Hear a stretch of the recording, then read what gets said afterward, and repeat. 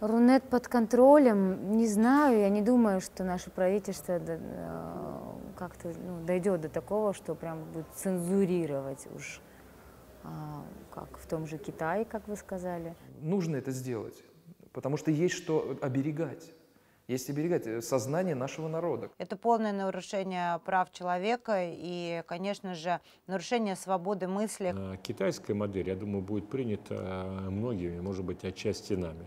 Вообще во всех странах мира сейчас усиливается контроль за интернетом, поскольку когда в интернет пришли сотни миллионов людей, туда пришли различные криминальные, террористические группы и так далее, возникла необходимость контролировать как-то его.